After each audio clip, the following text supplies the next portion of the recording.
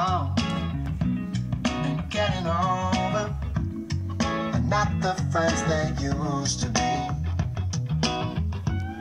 It's been so long since I got to hold you, but I still can't seem to get you off my mind.